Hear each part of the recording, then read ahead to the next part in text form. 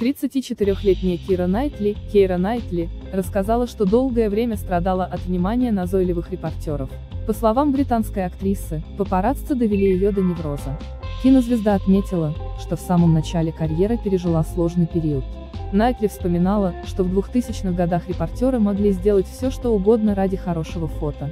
Я была свидетельницей того, как они ходили по пятам за Бритни Спирс и Эми Уайнхаус. Не могла поверить, что это может случиться и со мной, рассказала актриса в интервью для The Telegraph. Кира начала страдать от повышенного внимания со стороны СМИ в 2003 году, после выхода первой части фильма «Пираты Карибского моря», Pirates of the Caribbean, The Killers of the Black Pearl. Найтли призналась, что однажды чуть не набросилась на папарацци с кулаками. «Я помню, как машину Скарлетт Йоханссон столкнули с дороги в Лос-Анджелесе. То же самое они сотворили и с моим авто в Кентиштауне. Тогда я сказала, что собираюсь убить папарацци. В ответ они заявили, что получат больше денег, если я сделаю это, пожаловалась Кира.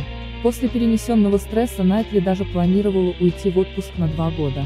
Звезда фильма «Гордость и предубеждение» хотела прийти в себя от случившегося. Своими действиями папарацци подталкивали совершить то, что мне не свойственно, поделилась актриса. В тот момент Кира поняла, что больше не хочет сниматься в высокобюджетных фильмах. Нервы оказались дороже, чем популярность.